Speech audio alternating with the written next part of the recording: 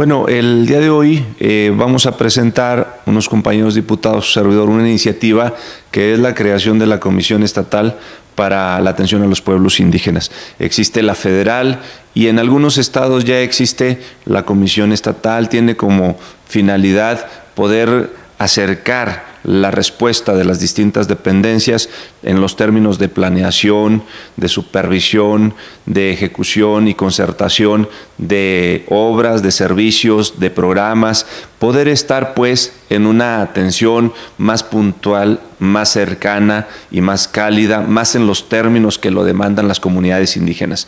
Esto a nosotros nos parece que hace falta, que es importante, es una propuesta que yo recogí cuando la campaña en los recorridos que hicimos por las comunidades y es un espacio también de participación para las propias comunidades indígenas del estado de Durango. Me parece que es un tema importante y hoy lo vamos a plantear en el Congreso. Espero contar con el apoyo posteriormente para que eh, esta iniciativa fructifique y sea creada en el estado de Durango la Comisión Estatal para la atención a los pueblos indígenas.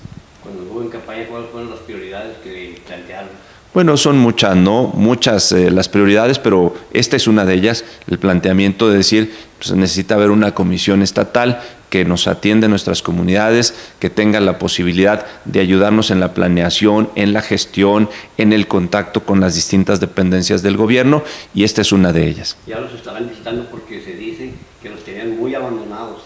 Bueno, hay comunidades todavía muy lejanas, comunidades que todavía no tienen acceso, que hay que caminar o subirse en una mula para poder llegar hasta allá.